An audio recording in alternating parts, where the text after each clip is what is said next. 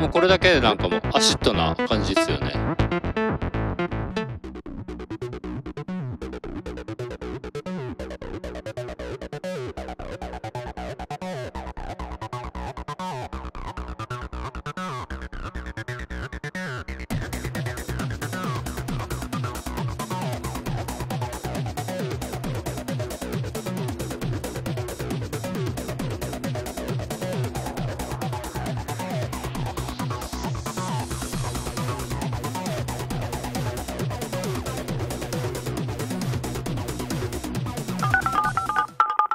今回はアートリアアシッド V のシーケンサーとアルペジエーターの機能の解説をしていきます。じゃあまずシーケンサーから。でシーケンサーは最大64ステップのシーケンスを作ることができます。であとロック機能を使うとプリセットを変えてもシーケンスはそのまんまで鳴らすことができます。で左からシーケンスの保存。でドラッグで MIDI トラックに直接貼り付けることも可能です。でこの消しゴムマークをクリックするとシーケンスが消えます。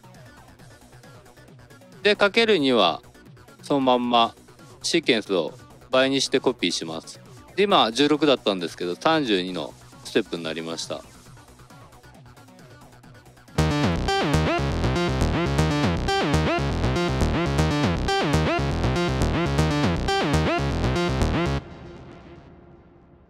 こんな感じで32ステップのシーケンスが今鳴る状態です。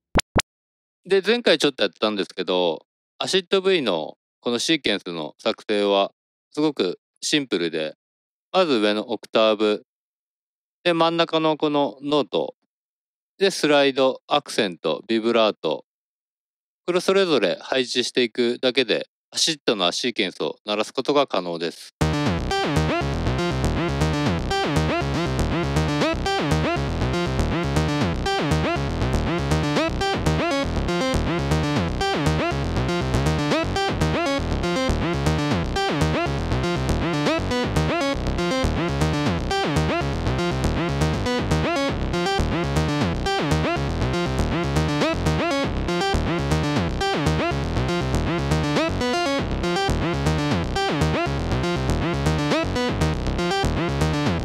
ハードの TB の打ち込みってかなり面倒くさいんでこのアシット V だったら初見でも誰でも簡単にシーケンスを作成することができます。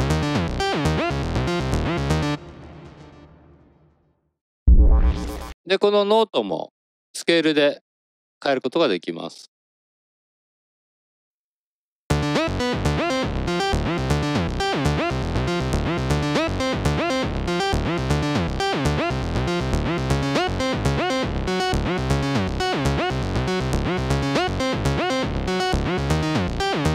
まあ、シーケンスこうやってスケールで設定できるんでいわゆる外さないフレーズを作成することができます。逆に定番のメジャースケールとかもあります。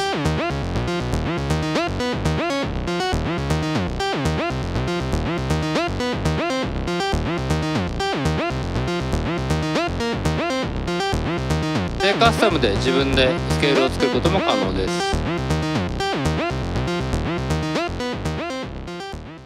で、レイトでシーケンスの音符を設定します。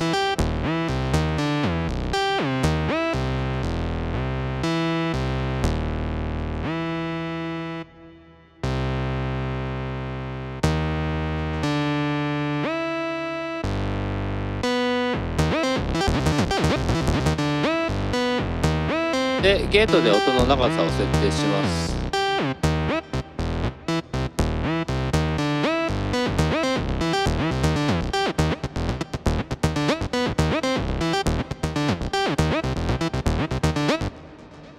で、スイングで前後の揺れをコントロールします。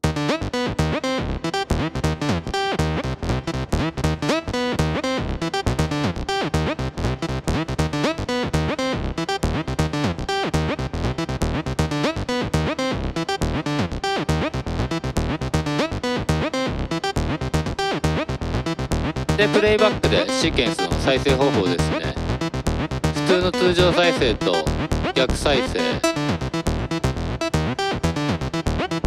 で前後再生。であとランダム。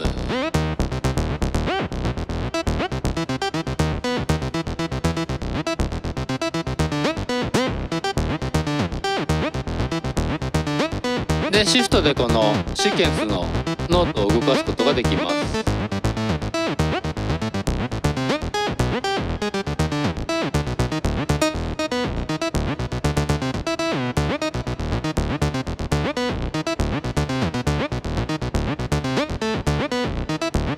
で横だとオクターブとかスライドアクセントビブラートも動きますね。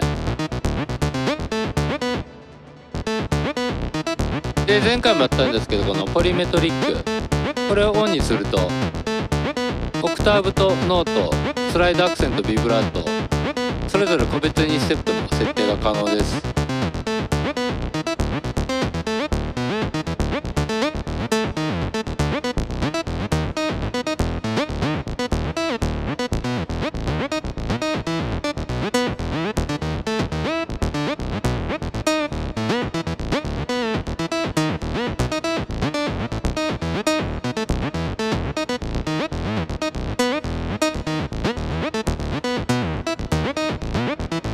こうやって各パートのシーケンスステップを変えることによってすごいユニークな演奏が可能になります。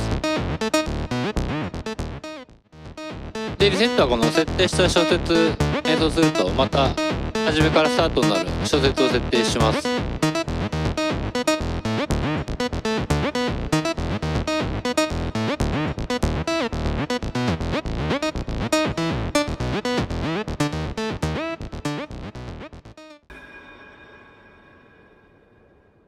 トランスミューテーションはいわゆるランダマイズの機能で、このジェネレートとデンシティのパラメータでランダムにフレーズを作ります。で、デンシティがこのステップの数ですかね。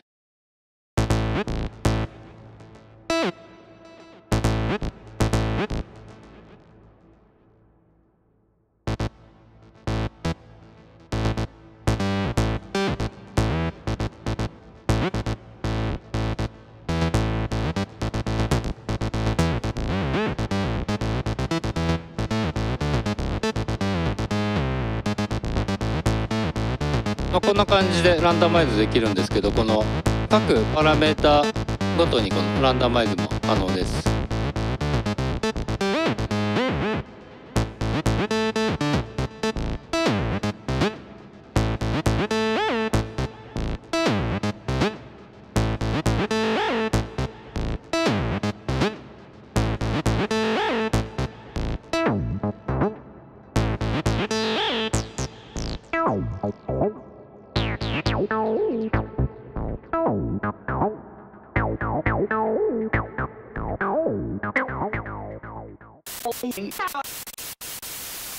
では、アルペジエーターの解説をします。アルペジエーターは押さえたノートを様々な方法で鳴らす、いわゆるアルペジオ奏法が可能になります。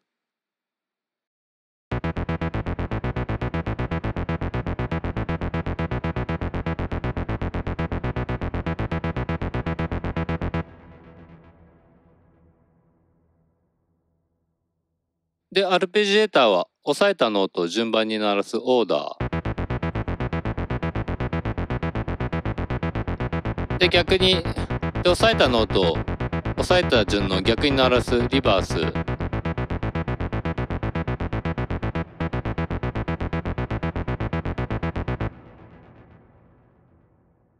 で低い音から高い音を鳴らすアップ。で高い音から低い音を鳴らす。ダウン。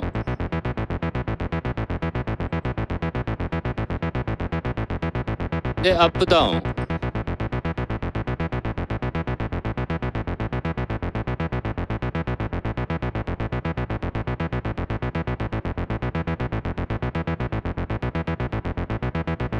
でアップダウンは音の切り返しを鳴らすのと鳴らさないの2種類ありますね。で押さえたの音をさまざまな順番で鳴らすランダム。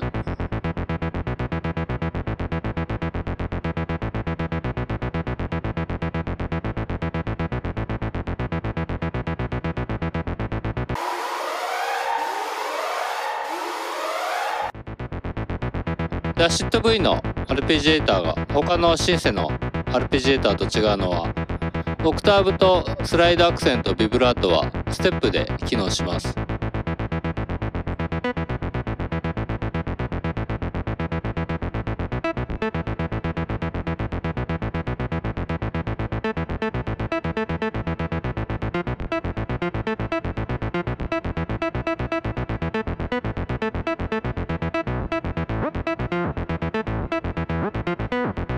これだけでなんかもうアシッドな感じですよね。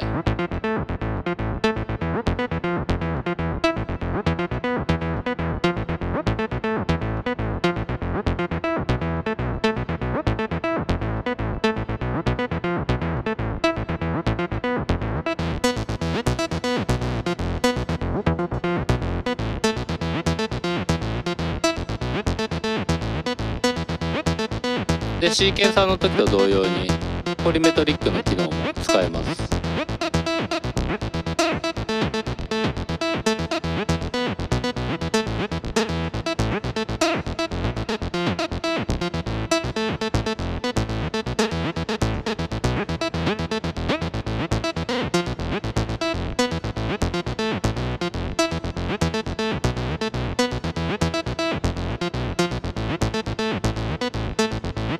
でプレイバックも使えます。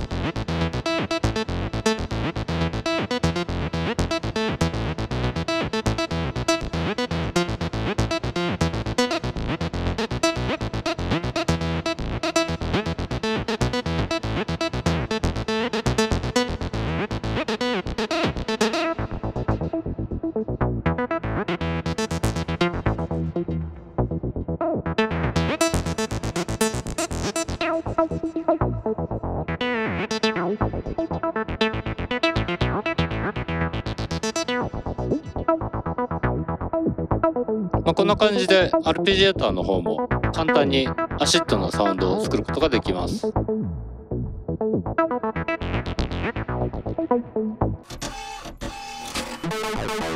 まあ、こんな感じで今回シーケンサーとアルペジエーター取り上げてみたんですけど、まあ、本当に視覚的かつ効率的にこのシーケンス作れるんで、まあ、初見でも簡単に扱うことができますこれで実際のデジタルオーディオワークセッションの制作にもすぐ使えるんで、まあ、やっぱめっちゃ使いやすいですね。